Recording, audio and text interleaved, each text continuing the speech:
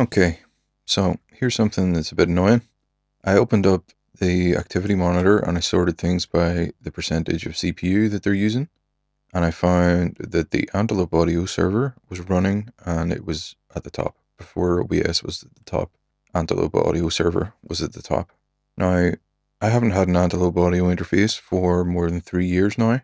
And I completely uninstalled it and removed every trace of it, so I thought, from the computer, but uh, Apparently not. And I haven't been able to find any. I've searched, nothing showed up. So basically, what I'm going to do here is show you how to get rid of it.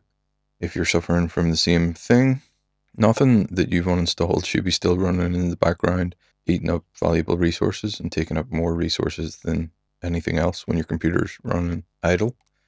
But basically, you highlight the process, click the little eye icon,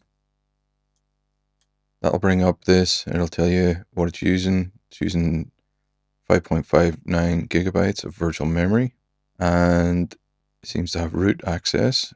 Like none of this is good. And if I quit it if I force quit it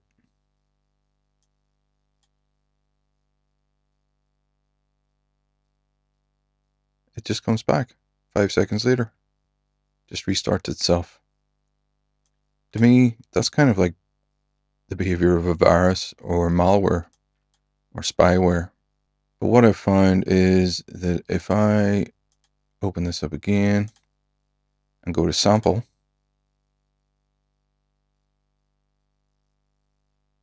it tells me where it's hiding. And I believe that this means that it's a hidden folder. So if I then go to users, shared. You can see it's arranged by name, so it's not there.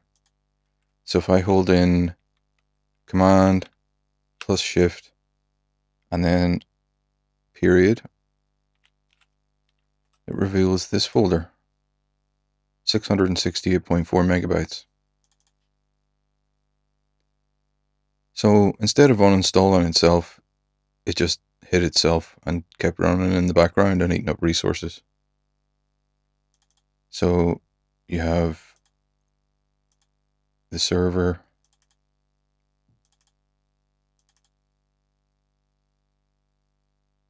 It's just auto starting itself.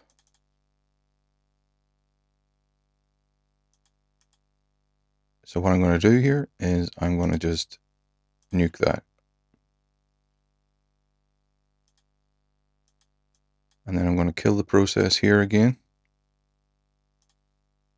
Force quit. Give it five seconds. Gone. I don't know why Antelope feel like they need to be shady about things.